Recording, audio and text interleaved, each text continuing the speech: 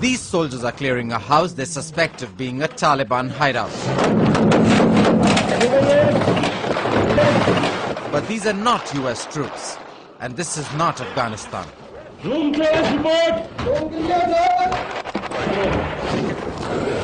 We are with the Pakistan Army SWAT team in the province of South Waziristan, very near the Pakistan-Afghan border. The Pakistani army is launching a multi-pronged attack against the Taliban, deep inside Pakistan's federally administered tribal areas, a remote area where the army and the government rarely venture into.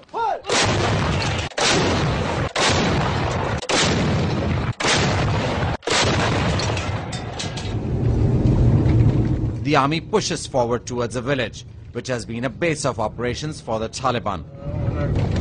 We watch for sharpshooters. An engineer's officer, trained in detecting landmines, drives us. He's on the lookout for improvised explosive devices, or IEDs.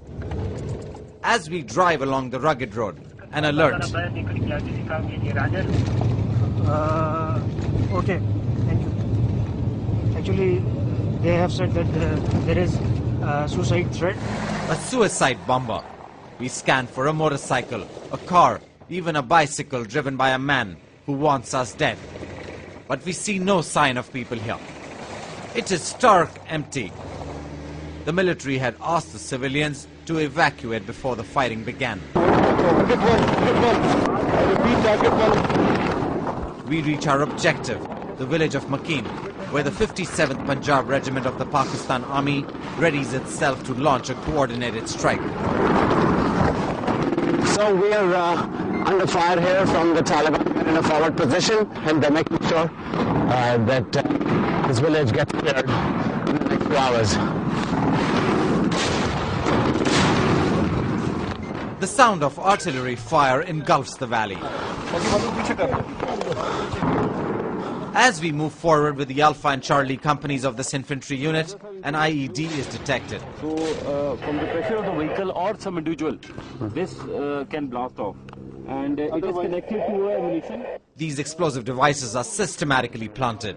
The Taliban have become expert in this kind of long distance death. Big loss. 19 for 1 CL forward.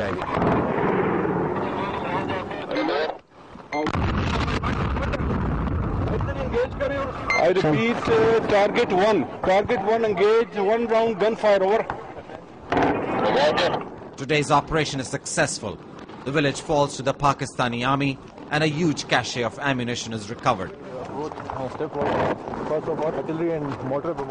A number of compounds in a particular village, uh, when we go in, in those compounds we find weapons. We found uh, major weapons like RPGs, rocket propelled nades launchers, and uh, same way uh, 82 mm mortar. The Pakistani army says the Taliban are bringing weapons and ammunition from Afghanistan in huge quantities.